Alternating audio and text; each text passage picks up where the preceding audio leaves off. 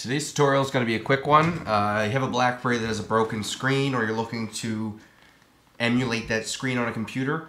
This is how you do it. Download a program called BlackBerry Screen, Screen Stream. It's a tongue twister. Uh, the link is below. Basically, you plug it in, you hit the play button. Uh, it'll ask you for a password. If you don't have one, hit continue. If you do, type it in. Hit play.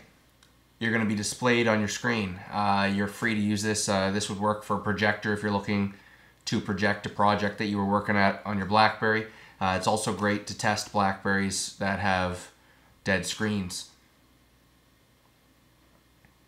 There's going to be a bit of a lag to it, obviously, but you can adjust that a little bit through the program. Hopefully this helps some of you guys out. Be sure to like, subscribe, and share. Thanks a lot, guys.